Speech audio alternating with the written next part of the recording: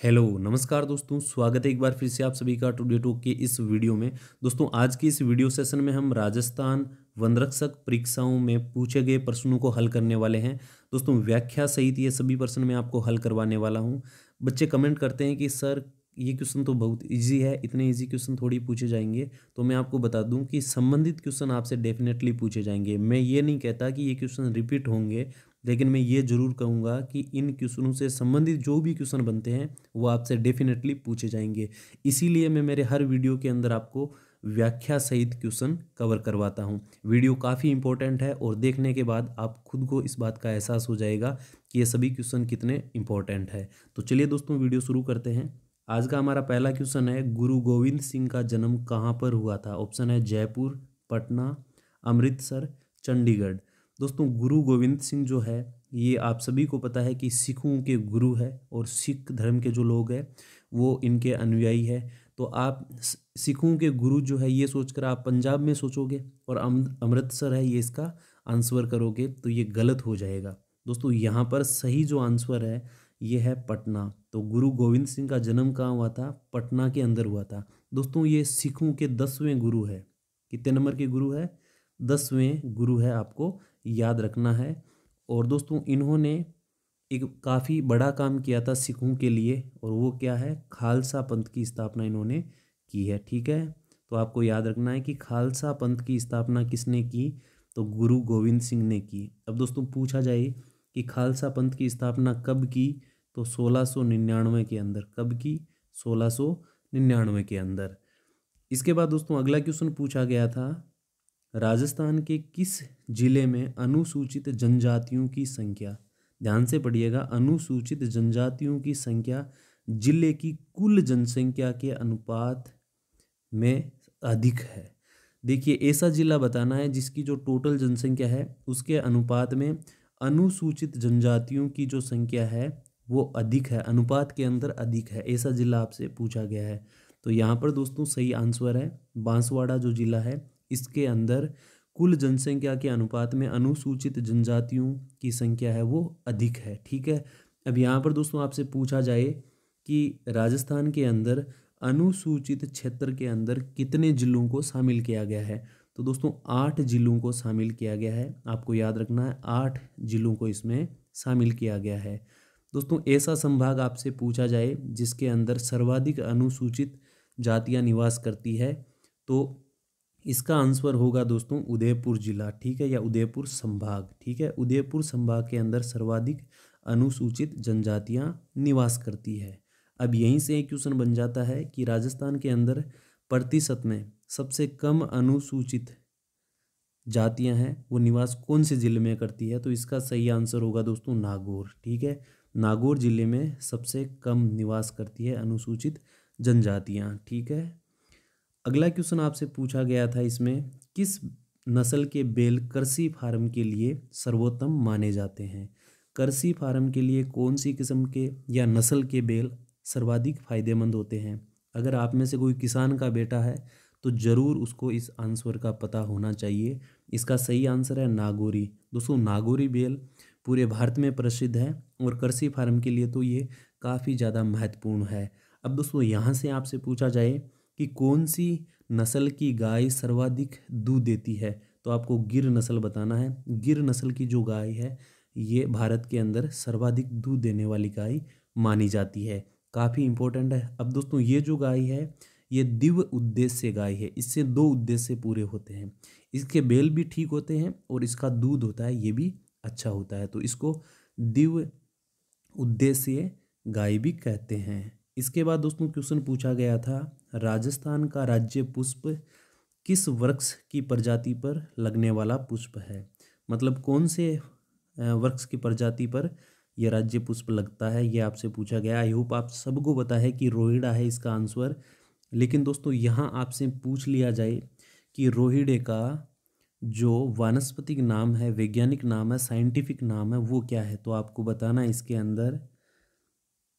टेकू टेकू मेला, ठीक है?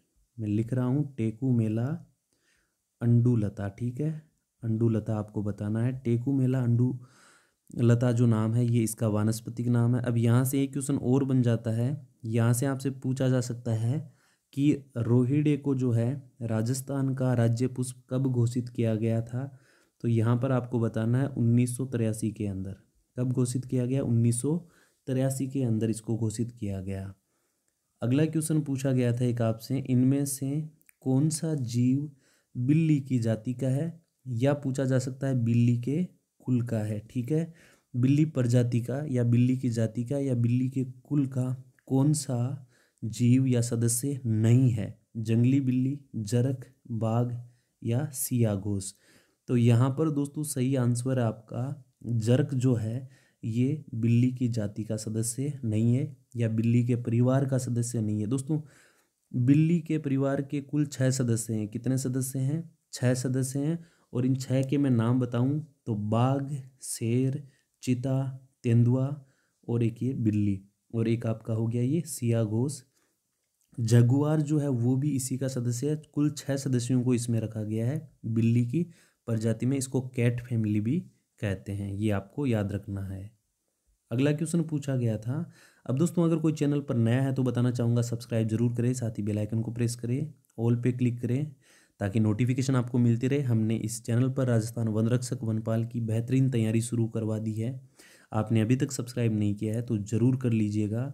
और दोस्तों, ये जो भी पेपर मैं आपको सॉल्व करवा रहा हूँ, इनकी पीडीएफ फ़ाइल आपको टेलीग्राम के चैनल पर मिलेगी। और टेलीग्राम चैनल का जो लिंक है वो डिस्क्रिप्शन बॉक्स में है, वहाँ से आप ज्वाइन कर लीजिएगा। वैसे मैं टेलीग्राम चैनल पर important notes PDF file MCQ type question आपको प्रोवाइड करता रहूँगा।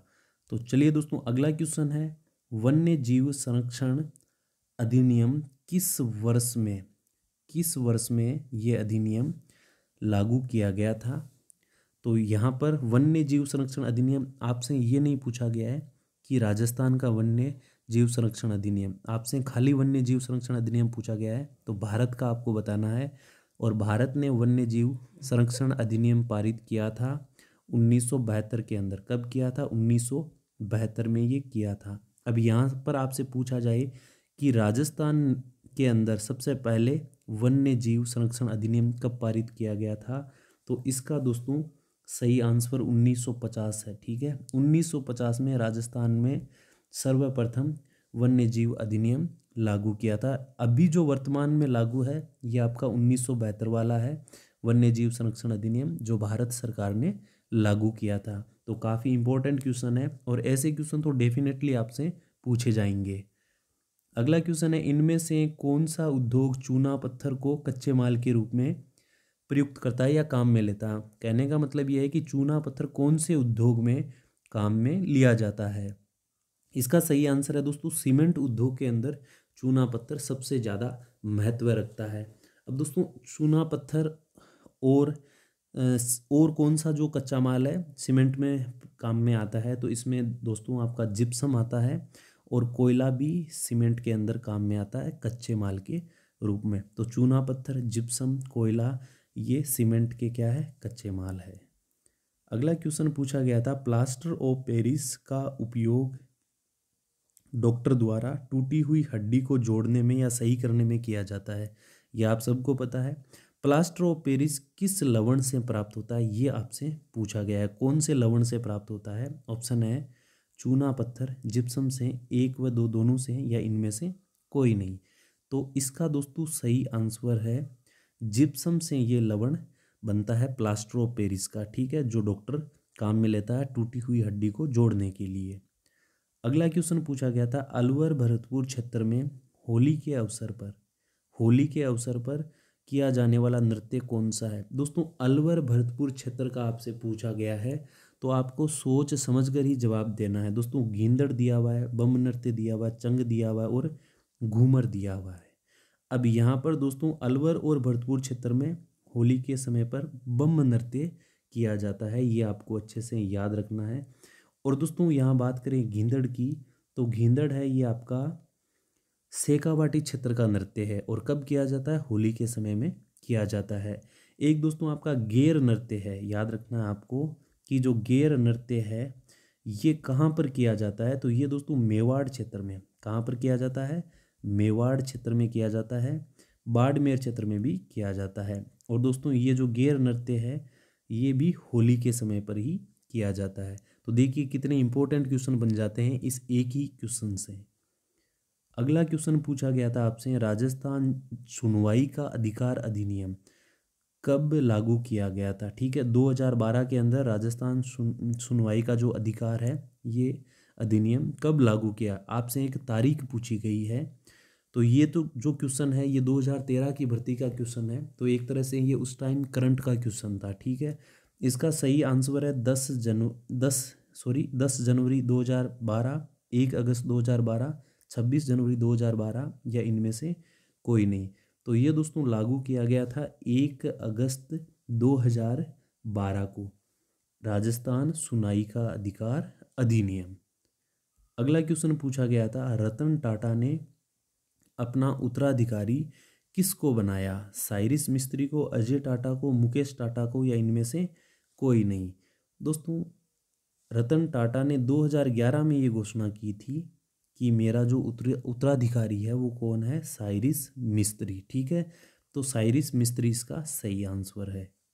अगला क्वेश्चन पूछा गया, प्रोजेक्ट टाइगर किस वर्ष में शुरू हुआ था? देखो दोस्तों, प्रोजेक्ट टाइगर के बारे में मैंने आपको पीछे जो वीडियो बनाए थे भारत के वन्य जीव अभ्यारण्य या राजस्थान के वन्य जीव अभ्यारण्य और जो भी वनों से संबंधित प्रोजेक्ट या अभियान चलाए गए, उनके बारे में मैंने आपको पीछे के वीडियोस में डिटेल से बता रखा है।